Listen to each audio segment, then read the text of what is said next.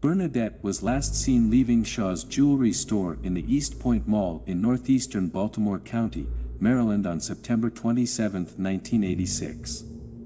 Caruso had completed her work shift at the jewelry store and was seen entering her car in the mall's parking lot at approximately 5.05 p.m. that day.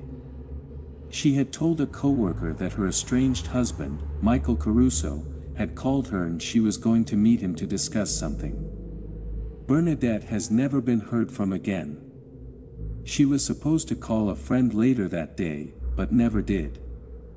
The vehicle she was driving, her grandmother's gray-slash-green 1982 Chevrolet Cavalier with Maryland license tags numbered FYW-097, has never been recovered. Bernadette was separated from Michael, a Baltimore County police officer, at the time of her disappearance. They were involved in a bitter custody battle over their three-year-old daughter. Their daughter was spending the weekend with relatives on the day Bernadette vanished. Michael was later fired from the police department after being convicted of abusing a prisoner. Witnesses report that he often threatened his wife. He has not been charged in her case, however, nor has he or anyone else been named as a suspect. Foul play is suspected in Bernadette's disappearance due to the circumstances involved. Her loved ones describe her disappearance as uncharacteristic of her and they believe she came to harm. Bernadette resided in the 4000 block of Rustico Road in Carrollwood, Maryland in 1986. Her case remains unsolved. It is just unbearable, knowing the selfish, misogynist person that did this to my daughter is out there and could do this to some other poor woman, Brenda Ruffin laments about the murder of her beloved daughter Marilyn Jazz Scott. The murder shocked not only local law enforcement but her quiet community in Bel Air, Maryland, due to way the young mother-to-be was targeted. There was only one reason they came there and that was to kill Marilyn Scott, Detective David Skika of the Harford County Sheriff's Department asserted during a press conference with MAR News.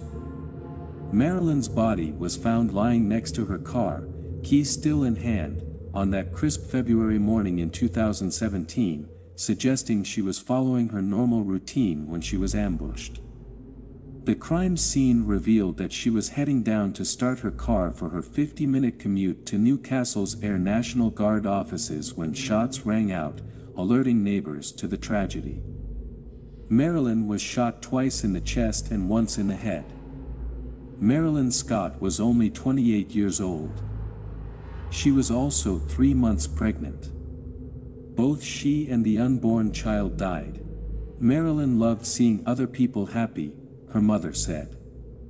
She would always reserve restaurants for birthdays and holidays. She never forgot an event. Marilyn loved to buy presents for her family and friends, and always spent more on others than she did on herself. To her family, Marilyn was extraordinary and had a radiant personality, smart and driven to accomplish. She was incredibly independent. She never needed anyone else's help, her sister, Paris Scott, remembers proudly. Marilyn ran track in high school and college, excelling in the 100 meter, 200 meter, 300 meter, long jump, and hurdles. Through scholarships alone, she paid her way through college at Coppin State University in Baltimore, where she earned her bachelor's degree in English. She later enlisted in the Air National Guard, where she worked her way up to the rank of Staff Sergeant, with her sights set on becoming an officer. The admiration in Paris's voice is profound as she lists her older sister's many remarkable achievements. Marilyn is the driving motivation for Paris in self-educating on the justice system, specifically what to expect once a suspect is brought to accountability. Paris shared her mission with Project, cold case to advocate for her sister and take the lead in understanding and explaining judicial process to her family as her way of coping. While there have been speculations as to who was responsible for taking Marilyn's life, the police maintain that there is not enough evidence to prosecute.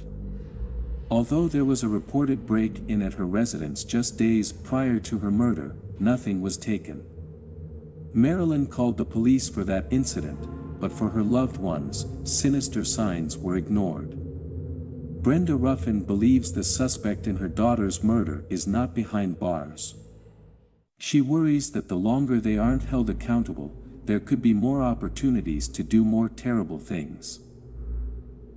Michelle was last seen at her home on Clark Boulevard in Halethorpe, Maryland at 9.30 a.m. on July 20, 2002. She was going to drive her dark green 1998 Dodge Caravan to buy some items for her three-year-old son's birthday party at local stores. Michelle never returned home.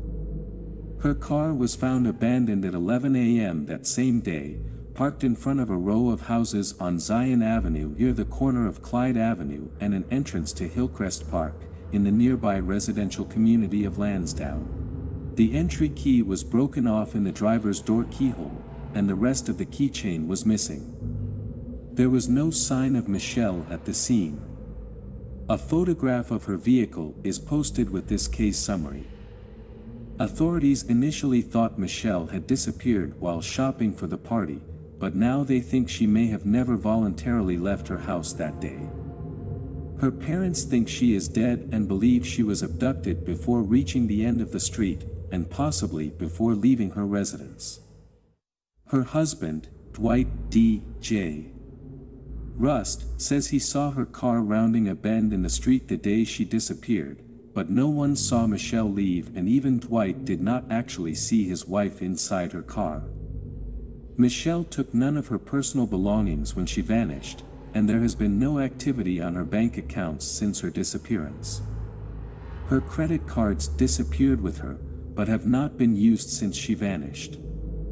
She was missed about an hour after she was last seen, when Dwight became concerned because she had not returned from the store and no one reported having seen her since she left.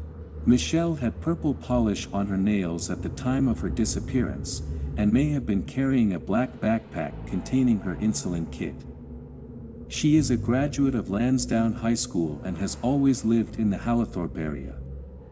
She had worked at a children's daycare facility before becoming a stay-at-home mother. Her family says it is extremely uncharacteristic of her to leave without warning. Authorities have not ruled Dwight out as a suspect, but they have not ruled anyone else out either, except Michelle's parents. Dwight was the last person to see his wife before she vanished. He had reportedly had several extramarital affairs and Michelle was afraid that one of his girlfriends might hurt her. Dwight, who began dating Michelle when she was a freshman in high school and married her in 1997, maintains his innocence in his wife's disappearance and states he does not believe she left of her own free will. He filed for divorce from Michelle in 2007 and sought custody of their son. Michelle remains missing and her case is unsolved. Her disappearance is being investigated as a kidnapping by the FBI and foul play is suspected. Some agencies state Michelle disappeared from Baltimore, Maryland.